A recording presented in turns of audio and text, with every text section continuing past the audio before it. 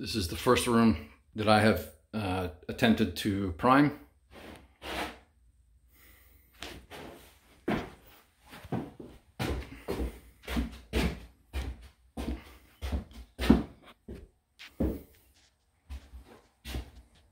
picked up a um, sprayer, one of these monsters here.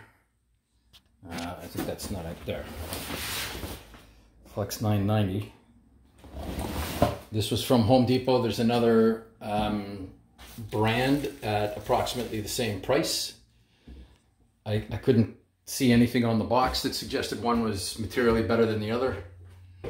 Um, I guess it did okay. It gets the paint on the walls, but I found it was still necessary to go back afterwards with um, this thing to flatten out the paint. If you if you rest it for more than five or ten seconds, actually, uh, it it splatters the first time you hit the trigger. It just puts goo everywhere. So then you you just don't have a choice. You have to go back and, and smooth it out.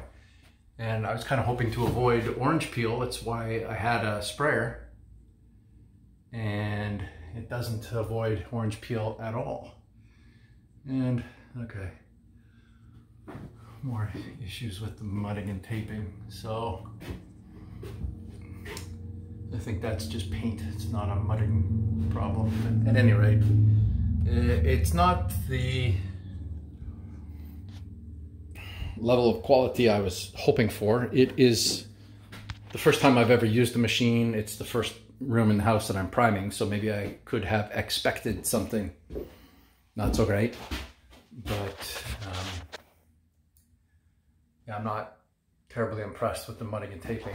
Yeah. We're at the point now where I may just take it back, do it myself.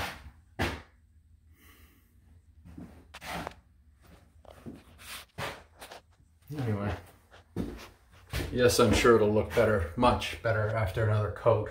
Um,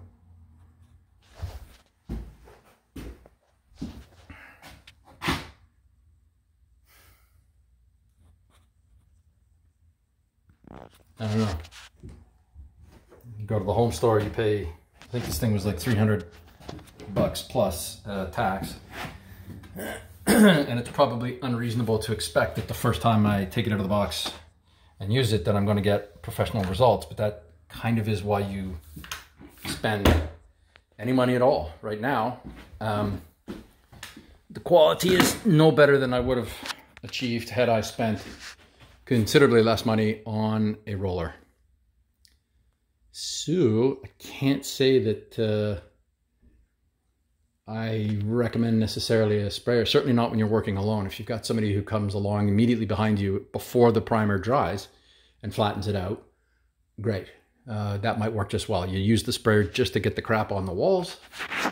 Okay, that seems to be something that it's pretty strong at.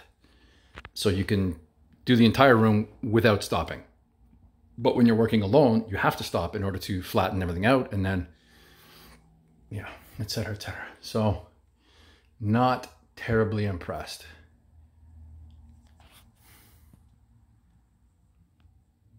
Anyway, that's that.